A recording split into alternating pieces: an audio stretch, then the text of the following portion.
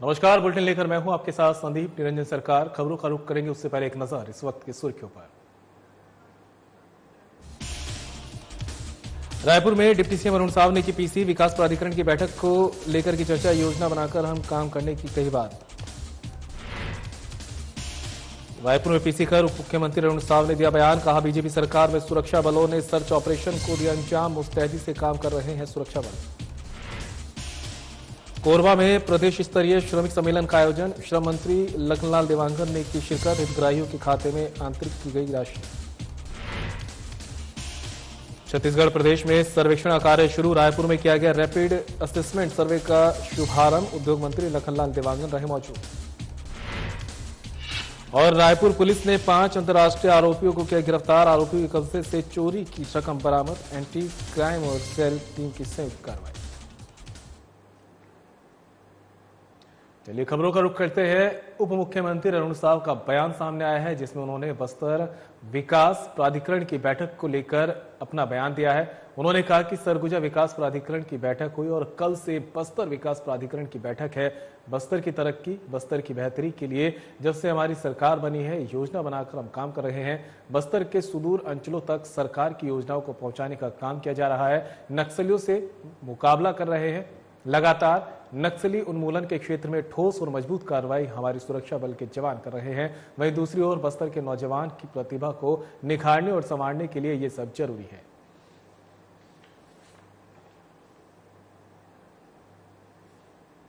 दृष्टि से बस्तर और सरगुजा हमारी सरकार की सर्वोच्च प्राथमिकता में होगा और उसी के दृष्टि से पहले सरगुजा विकास प्राधिकरण की बैठक हुई और अब कल बस्तर विकास प्राधिकरण की बैठक है। और बस्तर के तरक्की बस्तर की बेहतरी के लिए जब से हमारी सरकार बन, बनी है योजना बनाकर हम काम कर रहे हैं। नियद निल्लानार योजना लाकर बस्तर के सुदूर अंचलों तक सरकार की योजनाओं को पहुँचाने का काम कर रहे हैं। सुदूर क्षेत्रों में नक्सलियों से मुकाबला कर रहे हैं। लगातार नक्सल उन्मूलन के क्षेत्र में ठोस और मज़बूत कार्यवाहियाँ हमारे सुरक्षा बल के नौजवान कर रहे हैं। वहीं दूसरी ओर बस्तर के नौजवानों के प्रतिभा को निखारने के लिए, संवारने के लिए, उन्हें विकास की मुख्य धारा में लाने के लिए बस्तर ओलंपिक का भी बहुत व्यापक तौर पर आयोजन हो रहा है। बस्तर विकास प्राधिकरण की बैठक में निश्चित रूप से बस्तर के सर्वांगीण विकास की चर्चा होगी। बस्तर को आगे ले जाने का रोड मैप तैयार होगा और हम प्रतिबद्ध हैं बस्तर में शांति बहाली के लिए, बस्तर के लोगों के जीवन में परिवर्तन लाने के लिए। मणिपुर घटना को लेकर राहुल गांधी के बयान पर उप मुख्यमंत्री अरुण साहब का बयान सामने आया है, जिसमें उन्होंने कहा कि जब से हमारी सरकार बनी है, नक्सलवाद, आतंकवाद के लिए पूरी प्रतिबद्धता से काम कर रही है देश में। शांति सरकार की प्राथमिकता है, वहाँ के लोग आपस में मिलजुल कर रहे, सद्भावना से रहे और मणिपुर विकास की दिशा में आगे बढ़े। भारत सरकार प्रधानमंत्री नरेंद्र मोदी के नेतृत्व में लगातार इस दिशा में ठोस प्रयास किए गए हैं और आने वाले समय में बेहतर परिणाम मिलेंगे।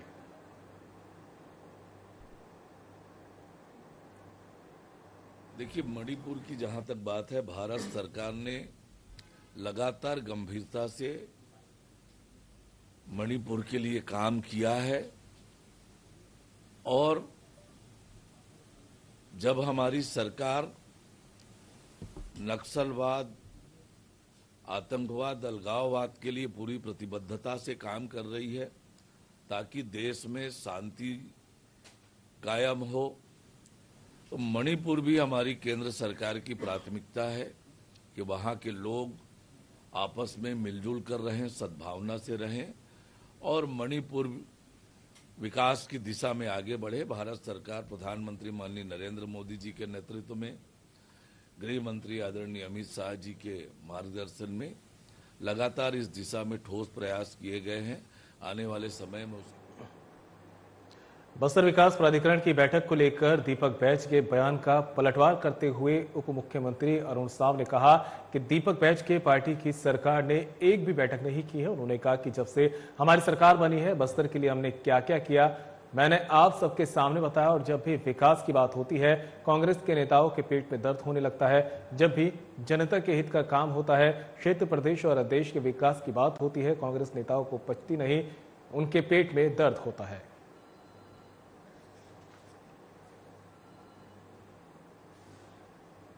मैं आपसे कहना चाहता हूँ, जरा दीपक बैस से पूछे कि सरगुजा विकास प्राधिकरण की बैठक उनकी सरकार ने कितनी बार किया था? पाँच साल में एक भी बैठक सरगुजा विकास प्राधिकरण की, भूपेश बघेल की सरकार ने, दीपक बैज के पार्टी की सरकार ने नहीं किया था। और मैंने अभी आपको बस्तर के लिए हमने क्या क्या किया है? ये मैंने आपके सामने गिनाया है। और जब भी विकास की बात होती है, कांग्रेस के नेताओं के पेट में दर्द होने लगता है। हम बस्तर के विकास की योजना बनाने जा रहे हैं, विकास की समीक्षा करने जा रहे हैं, और दीपक बैद जी के पेट में दर्द होने लगा है। तो जब भी जनता के हित का काम होता है, क्षेत्र, प्रदेश और देश के विकास की बात होती है, कांग्रेस के नेताओं को पचती नहीं है, उनके पेट में दर्द होने लगता है। बस्तर में नक्सली मुठभेड़ में पाँच नक्सलियों के मारे जाने पर उप मुख्यमंत्री अरुण साव का बयान सामने आया है, जिसमें उन्होंने बयान देते हुए कहा कि नारायणपुर ज़िले की सीमावर्ती क्षेत्र में अबूझमाड़ इलाके में एक कठिन सुदूर क्षेत्र है। यहाँ पर सर्च ऑपरेशन को हमारे सुरक्षा बल के जवानों ने अंजाम दिया है। वहाँ पर कठिनाइयों की कल्पना हम नहीं कर सकते। कई किलोमीटर तक पैदल चलना, वहाँ जाकर ऑपरेशन करना, ऐसे कठिन परिस्थितियों में भी हमारी सुरक्षा बल के जवान बहादुर और मुस्तैदी के साथ काम कर रहे हैं, जो सराहनीय है। कांकेर और नारायणपुर ज़िले के सीमावर्ती क्षेत्र में अबूझमाड़ के इलाके में कितना कठिन और दुरू क्षेत्र है। किस प्रकार से सर्च ऑपरेशन को हमारे सुरक्षा के जवानों ने अंजाम दिया होगा, सहज ही इसकी कल्पना कर सकते हैं। कई किलोमीटर पैदल चलना, वहाँ जाकर ऑपरेशन करना ऐसे कठिन परिस्थितियों में भी हमारे सुरक्षा बल के जवान बहादुरी और मुस्तैदी से काम कर रहे हैं। पाँच नक्सली मुठभेड़ में मारे गए हैं। ये सुरक्षा बल के जवानों की वीरता, बहादुरी और साहस का परिणाम है।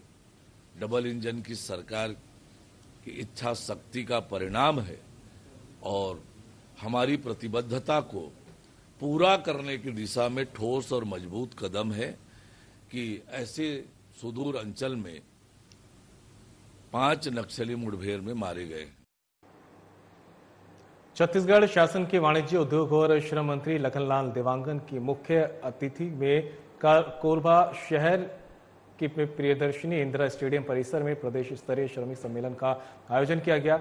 सम्मेलन में छत्तीसगढ़ भवन और अन्य असंगठित कर्मकार राज्य सामाजिक सुरक्षा मंडल और श्रम कल्याण मंडल अंतर्गत संचालित सत्रह विभिन्न योजनाओं के पिचासी हज़ार छब्बीस श्रमिक हितग्राहियों को छियालीस करोड़ साठ लाख तिरपन हज़ार नौ सौ तिरानवे रुपए डीबीटी के माध्यम से उनके बैंक खातों में सीधे अंतरित की गई।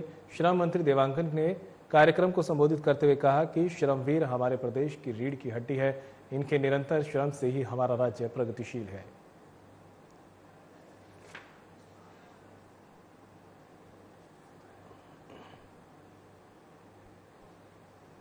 भारत सरकार की महत्वाकांक्षी योजना, प्रधानमंत्री आवास योजना 2.0 के अंतर्गत रैपिड असेसमेंट सर्वे का शुभारंभ किया गया।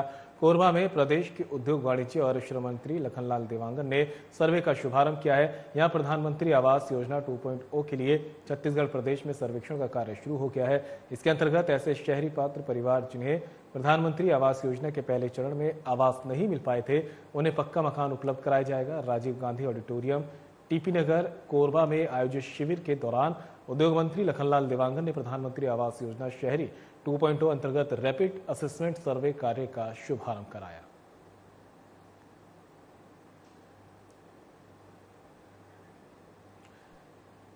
तो खबर आप तक पहुँचा रहे हैं, भारत सरकार की महत्वाकांक्षी योजना प्रधानमंत्री आवास योजना 2.0 के अंतर्गत रैपिड असेसमेंट सर्वे का शुभारंभ किया गया है। कोरबा में प्रदेश के उद्योग वाणिज्य और श्रम मंत्री लखनलाल देवांगन ने सर्वे का ये शुभारंभ किया है। यहाँ प्रधानमंत्री आवास योजना 2.0 के लिए छत्तीसगढ़ में सर्वेक्षण का कार्य शुरू हो गया है। इसके अंतर्गत ऐसे शहरी पात्र परिवार जिन्हें प्रधानमंत्री आवास योजना के पहले चरण में आवास नहीं मिल पाए थे, उन्हें पक्का मकान उपलब्ध कराया जाएगा। राजीव गांधी ऑडिटोरियम टीपी नगर कोरबा में आयोजित शिविर के दौरान उद्योग मंत्री लखनलाल देवांगन ने प्रधानमंत्री आवास योजना शहरी 2.0 अंतर्गत रैपिड असेसमेंट सर्वे कार्य का शुभारंभ किया है।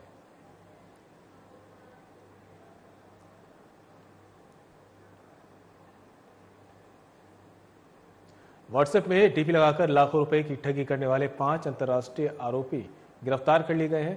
प्रार्थी के भाई के दोस्त का व्हाट्सएप में डीपी लगाकर घटना को अंजाम दिया गया था।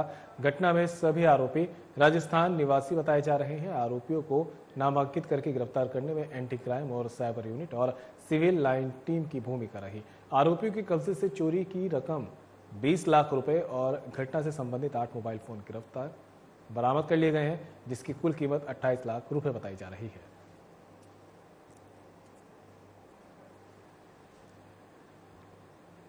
श्यामपुर में शनिवार को धूमधाम से भगवान बिरसा मुंडा की 150वीं जयंती मनाई गई। इस अवसर पर ग्राम के प्रमुख जन उपस्थित रहे। मुख्य अतिथि के रूप में पिंकी गजेंद्र राठौर, सभापति टोकेश्वर नेताम, सरपंच अतिथियों ने भगवान बिरसा मुंडा के चलचित्र पर माल्यार्पण कर पूजा अर्चना कर उन्हें उनके संघर्ष के जीवन को याद किया है। इस अवसर पर माकड़ी जनपद पंचायत सभापति पिंकी गजेंद्र राठौर ने नशा मुक्ति और स्वच्छता पर शपथ दिलाई।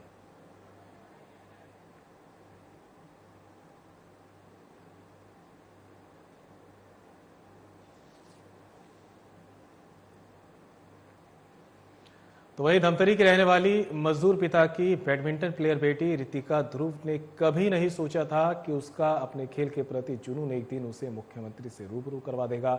जब रितिका को मोबाइल पर वीडियो कॉल पर मुख्यमंत्री विष्णुदेव साय का स्नेहमय चेहरा नज़र आया तो उसे विश्वास नहीं हुआ कि उसकी बात प्रदेश की मुखिया से हो रही है। मुख्यमंत्री साय ने रितिका से बात करते हुए उसके बैडमिंटन के हुनर को सराहा और उसका हौसला बढ़ाया। मुख्यमंत्री ने कहा कि आप इसी तरह अपने बैडमिंटन के हुनर को निखारिए।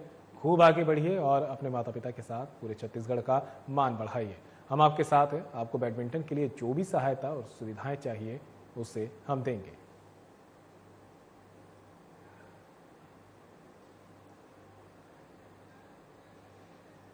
समर्थन मूल्य पर धान खरीदी योजना के अंतर्गत मुख्यमंत्री विष्णुदेव साय के द्वारा बालौद ज़िले के गुंडरदेही विकासखंड के धान खरीदी केंद्र, भाटागांव बी में धान खरीदी के कार्य का विधिवत शुभारंभ किया गया। धान खरीदी के पहले दिन मुख्यमंत्री साय की उपस्थिति में संपन्न धान खरीदी के कार्य के शुभारंभ में शामिल होने का अवसर प्राप्त होने पर इस दौरान मौजूद कृषकों ने इस पल को अपने लिए अविस्मरणीय पल बताते हुए इसकी सराहना की। इस अवसर पर धान की बिक्री करने के लिए धान खरीदी केंद्र में पहुँचे ग्राम मोंगरी निवासी कृषक हरिराम साहू और ग्राम भाटागांव बी निवासी कृषक उत्तम निषाद मुख्यमंत्री के हाथों से सम्मानित होने पर बहुत ही अभिभूत हुए हैं। इन दोनों किसानों ने इस पल को अपने जीवन का सबसे यादगार और रोमांचकारी क्षण बताया।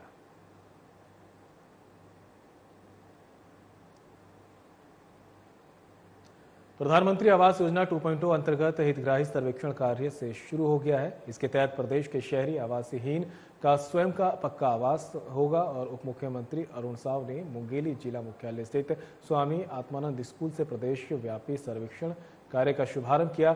इससे पहले उन्होंने जिला मुख्यालय मुंगेली के वार्ड क्रमांक 16 में धनुन, निर्मलकर और सुजीत पतरस के घर पहुंचकर हितग्राही सर्वेक्षण किया और पीएम आवास के लिए उनका फॉर्म भरवाया। उप मुख्यमंत्री अरुण साहब ने हितग्राही सर्वेक्षण के शुभारंभ कार्य को संबोधित करते हुए कहा कि राष्ट्रीय जनजातीय गौरव दिवस है, गुरु नानक जयंती है, देव दीपावली है और कार्तिक पूर्णिमा भी है। और आज पहले चरण में आवास से वंचित लोगों को पक्का आवास उपलब्ध कराने के लिए प्रधानमंत्री आवास योजना शहरी 2.0 का शुभारंभ किया गया। इसके लिए मैं आप सबको बधाई देता हूँ और शुभकामनाएँ देता हूँ।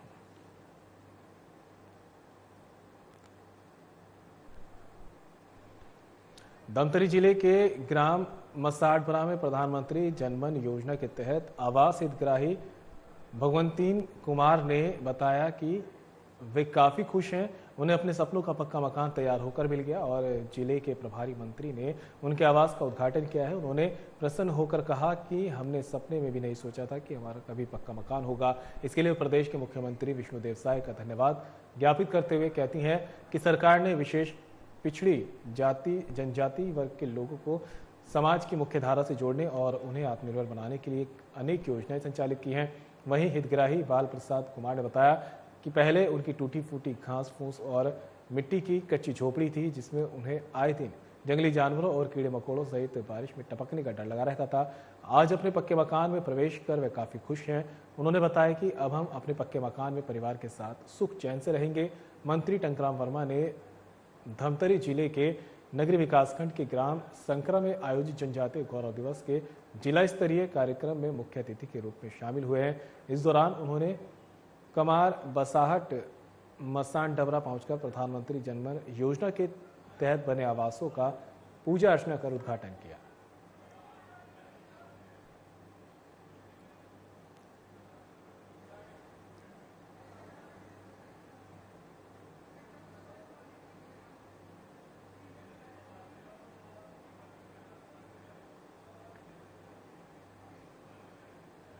सांसद ब्रजमोहन अग्रवाल ने सिख धर्म के संस्थापक और पहले गुरु गुरु नानक देव जी के 555वें प्रकाश पर्व पर समस्त छत्तीसगढ़ वासियों को बधाई दी। ब्रजमोहन अग्रवाल राजधानी की कचहरी चौक स्थित खालसा स्कूल में आयोजित विशेष कार्यक्रम में शामिल हुए।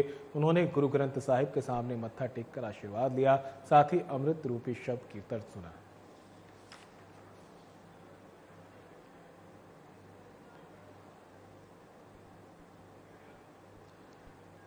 खबर आप तक पहुँचा रहे हैं। रायपुर से जहाँ पर सांसद ब्रजमोहन अग्रवाल ने सिख धर्म के संस्थापक और पहले गुरु गुरु नानक देव जी के 555वें प्रकाश पर्व पर समस्त छत्तीसगढ़ वासियों को बधाई और शुभकामनाएँ दी हैं।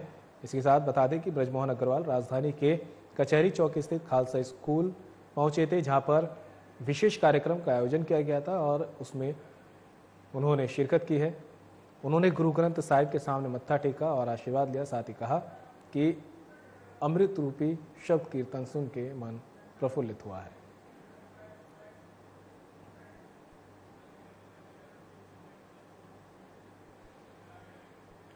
प्रदेश के वन मंत्री केदार कश्यप जनजाति गौरव दिवस के अवसर पर जगदलपुर में आयोजित विभिन्न कार्यक्रमों में शामिल हुए हैं। जगदलपुर के पीजी कॉलेज ग्राउंड में आयोजित सभा को संबोधित करते हुए मंत्री केदार कश्यप ने प्रदेशवासियों को जनजातीय गौरव दिवस पर बधाई दी। उन्होंने कहा कि छत्तीसगढ़ जनजातीय बहुल क्षेत्र वाला प्रदेश है, इसलिए इस क्षेत्र में इस समागम का आयोजन सर्वथा प्रासंगिक है।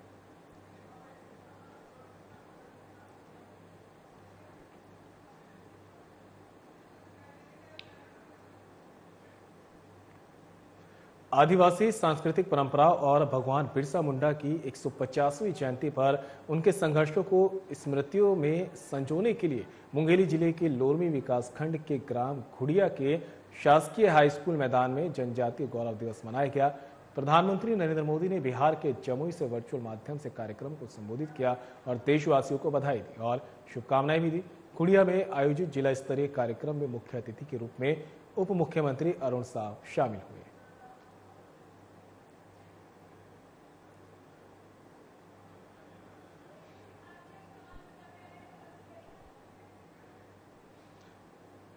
तो खबर पहुँचा रहे हैं आप तक लोरमी से, जहाँ पर आदिवासी सांस्कृतिक परंपरा और भगवान बिरसा मुंडा की 150वीं जयंती पर उनके संघर्षों को स्मृतियों में संजोने के लिए मुंगेली ज़िले के लोरमी विकासखंड के ग्राम खुड़िया में शासकीय स्कूल मैदान में जनजातीय गौरव दिवस मनाया गया।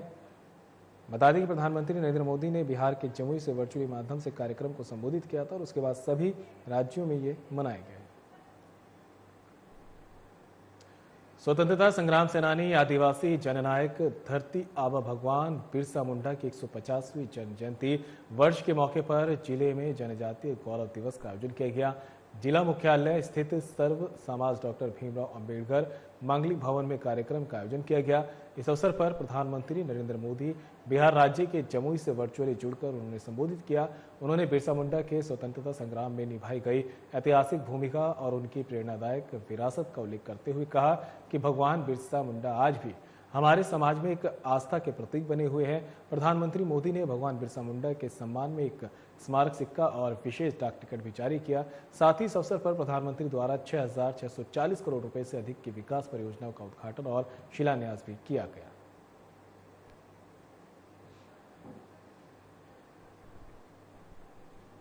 राजधानी रायपुर में अपराध पर अंकुश लगाने के लिए वरिष्ठ पुलिस अधीक्षक के दिशा निर्देश पर लगातार कार्रवाई की जा रही है और इसी कड़ी में अभियान के तहत पुरानी बस्ती थाना क्षेत्र पुलिस के कार्य से अवैध रूप से चाकू रख, चाकूबाज को गिरफ़्तार करने में सफलता हासिल की है।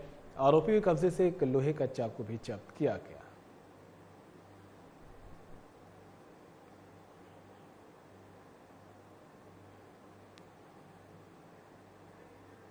पुलिस महानिरीक्षक अमरेश मिश्रा के दिशा निर्देश पर वरिष्ठ पुलिस अधीक्षक संतोष सिंह के मार्गदर्शन में विधानसभा अंतर्गत जुआ खेलने की सूचना मिली। पुलिस अधीक्षक कीर्तन राठौर, नगर पुलिस अधीक्षक विधानसभा के नंदन नायक के नेतृत्व में टीम तैयार की गई और बताएँ, जगह पर घेराबंदी कर जुआ खेल रहे आरोपियों को गिरफ़्तार करने में सफलता मिली। आरोपियों के खिलाफ जुआ एक्ट के तहत अपराध पंजीबद्ध कर लिया गया है।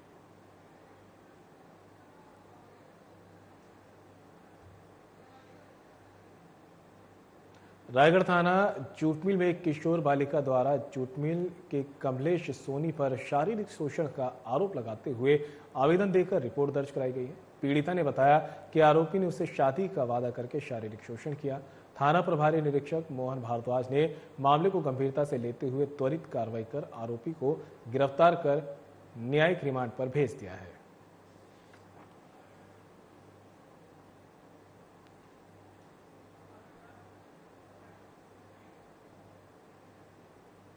बसना अनुविभागीय अधिकारी मनोज खांडे के निर्देशन में कल देर रात बसना के ग्राम अंकोरी में विशाल गजेंद्र और जगदीश सिदार के घर में चार और 400 कट्टा धान के अवैध भंडारण पर सख्ती बरतते हुए कुल आठ कट्टा धान जब्त कर मंडी अधिनियम के तहत कार्रवाई की गई। अधिकारियों को सूचना मिली थी कि अंकोरी में विशाल गजेंद्र और जगदीश सिदार के घर में बिना पर्याप्त दस्तावेज़ के धान का भंडारण किया गया है, जिसके बाद राजस्व की टीम ने छापेमारी कर दस्तावेज़ मांगा गया, लेकिन पर्याप्त दस्तावेज़ प्रस्तुत करने में असमर्थ रहे। इस मामले में प्रशासन द्वारा धान को जब्त कर मंडी अधिनियम के तहत कार्रवाई कर जब्त कर लिया गया था।